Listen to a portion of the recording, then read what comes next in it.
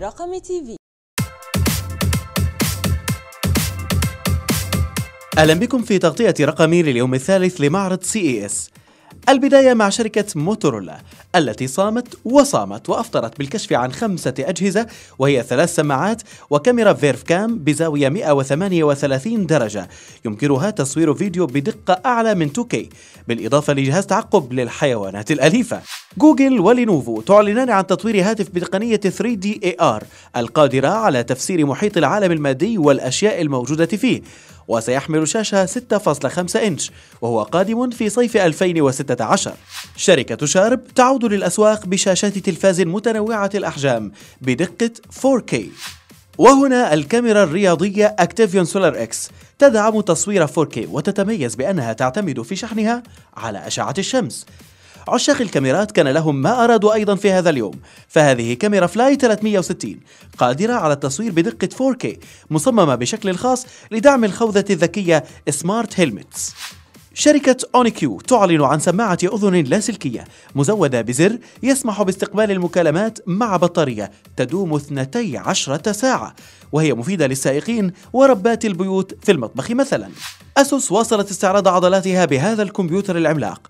ROG GT 51 المخصص للألعاب بمعالج i7 وكرتي شاشة من انفيديا كما عرضت كرت شاشة خارجي أسوس GX2 يتم استخدامه من خلال وصلات تعمل مع اللابتوب. شركة الين وير تعلن كمبيوتر X 1 لدعم نظارات الواقع الافتراضي بمعالج i5 وكرت GTX 970 قادم في مارس بسعر 1800 دولار.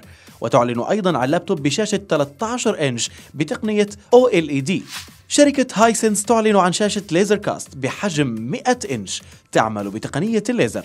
الفكرة عبارة عن شاشة مع بروجيكتور يقوم ببث المحتوى عليها بدقة عرض 4K من مسافة قريبة. يوتيوب يعلن عن دعم تقنية HDR في الفيديوهات لتحسين الألوان والدقة.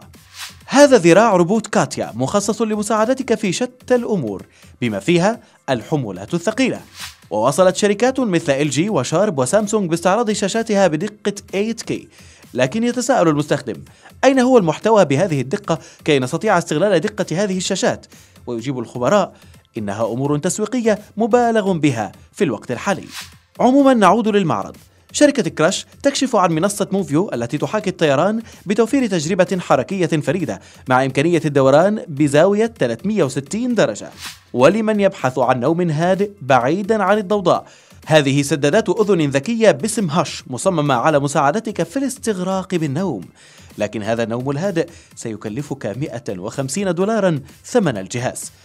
كاميرا مراقبة، كاميرا أمنية، نسمع عن ذلك لا مشكلة، لكن شركة نيتاتمو تعرض هنا كاميرا منزلية للتعرف على الزوار وما يجري في المنزل.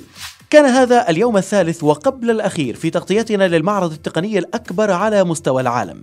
انتظرونا في تقارير، ولا تنسوا مشاهدة حلقة نشرتك عن المعرض أيضا. اشترك بالقناة واترك تعليقا أسفل الفيديو، وكونوا على قرب من رقم تيفي.